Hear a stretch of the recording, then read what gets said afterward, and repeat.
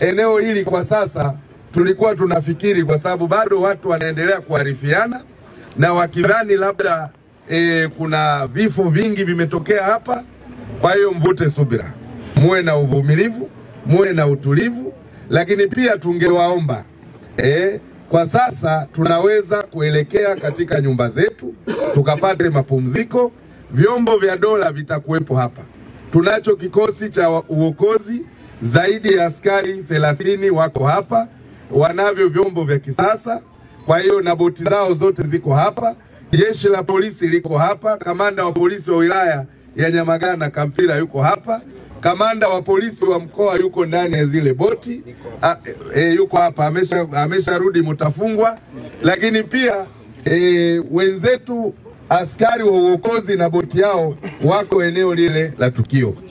Kwa msingi huo, ili kuimarisha amani katika eneo hili, kwa sababu nimeona bado watu wanaendelea kuja na wakiwa na taharuki. Mimi kama mwenyekiti wa kamati ya usalama nataka kuhakikisheni kwamba usalama umeimarika. Kwa hivyo mgerudi nyumbani mkapumzike, na kesho tutatoa taarifa sahihi kuhusiana na ajali ya boti iliyotokea hapa, lakini vyombo vyetu vitabaki hapa kwa ajili ya kuangalia, kwa sababu wanaendelea kufanya patrol katika lile eneo lilotokea ajali, endapo kuna mtu ambaye hajapata msaada aweze kupata msaada. Jamhuri ya Muungano wa Tanzania, na mimi na viongozi wenzangu tunaenda Sekoture ili tukahakikishe wale majeruhi wote wamepata matibabu, tena hawatapewa mati, ma, malipo yoyote, kwa sababu hii ni ajali, serikali itawagharimia. Poleni jamani. Tuendeleaje? Mkuu wa mkoa wa na kamati ya usalama ya mkoa tunawapa pole. Mimi nimewafuateni kule bichi, kumbe mmesha kuja huku. Haya, poleni sana na ajali. Asante. Hivi hivi kile chombo chenu kilikuwa na watu kama wangapi? Tunafika kwenye thelathini na nane. Mnaweza kufika 38. Eh mimi nimehesabu pale pale kabla ya nani kufika kule, tunataka kugeuza, nikahesabu nikakuta 33 watu wazima na mtoto mmoja wa 34. Mtoto yuko wapi?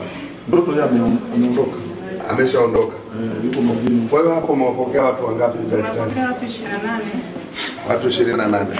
Wanaume ni 22 na wanawake 6.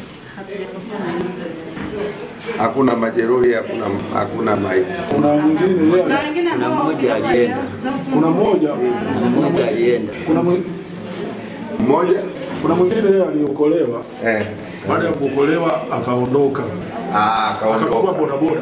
Akaondoka. Eh, Pale boti inapo inapojaa inakaguliwa na afisa yote wa serikali au nini, au ikishajaa inakuwa kama tu daladala, wanakagua, ili likaguliwa. Hajakaguliwa. Haijakaguliwa. Kanuni inatakiwa wao wanakagua.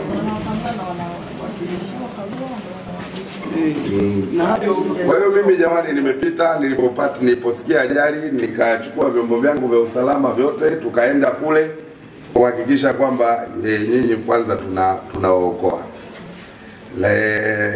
Kwa hiyo jitihada zinaendelea e, kuhakikisha kwamba kesho asubuhi tutapata ripoti kamili, lakini tumeacha maafisa wetu, jeshi la zimamoto na uokozi, jeshi la polisi na boti zao zote ziko pale, zinaendelea kufanya jitihada kuona kama kuna mtu ambaye anatakiwa kupata msaada. Kwa hiyo mvute subira. E, kwa hiyo nimekuja kuwapeni pole, lakini pia nimelielekeza jeshi la polisi kuwashikilia kapteni wa ile meli yuko hapo e, na msimamizi wa meli, lakini pia na mwenye meli yenyewe, kwa sababu e, kwa taarifa mnavyosema sema hapa inaonekana meli ilikuwa pia na changamoto e, haikuwa meli sahihi. Lakini pili ni meli ya mizigo, hairuhusiwi kubeba nini abiria. Kwa hiyo hiyo nayo ni makosa. Sasa nyinyi abiria mlikuwa mmejihatarishia usalama wenu wenyewe, lakini ni kwa sababu pengine ya changamoto ya usafiri, lakini maisha ni kitu muhimu sana, hayawezi kufidiwa na kitu chochote. Kwa hiyo ni vizuri pia wakati mwingine kuchukua tahadhari.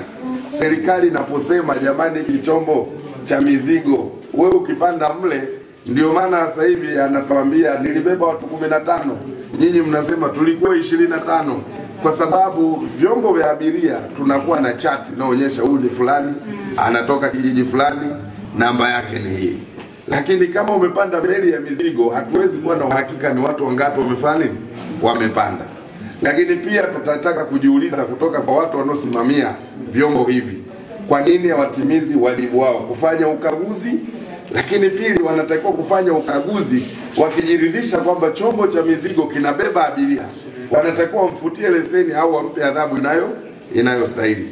Lakini yote hayo serikali imeyachukua na imeshatoa maelekezo na jeshi la polisi litafanya e, uchunguzi wake na wale watakaothibitika kuenda kinyume na leseni iliyotolewa watafikishwa kwenye vyombo vya dola.